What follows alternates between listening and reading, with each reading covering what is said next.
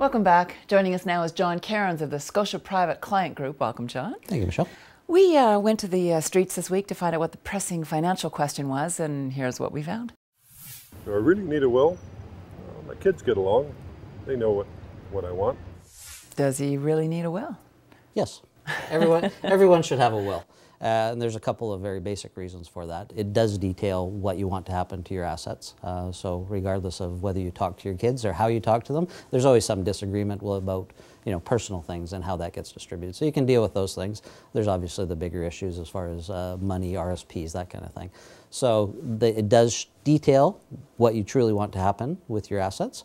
And the other part is it does designate who your executor is. So you can have a person as an executor, or you can have a corporate entity, such as a trust company.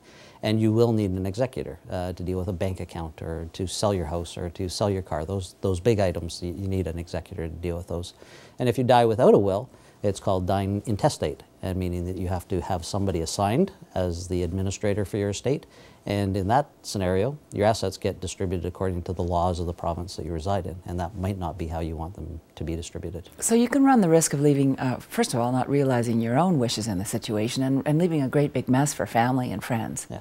If you do a will properly, it's much more efficient and gets done in a timely manner. So you build, you spend your whole life building your assets, and this is just basically the last piece of paper to make sure it transfers correctly to the next generation. Uh, graciously, instead of uh, people cursing you at the exactly. end of the day. Yes. That's really good advice, John Cairns. Thank you. Thank you. Thanks so much for joining us for the show. We're going to leave you now with the quote of the week.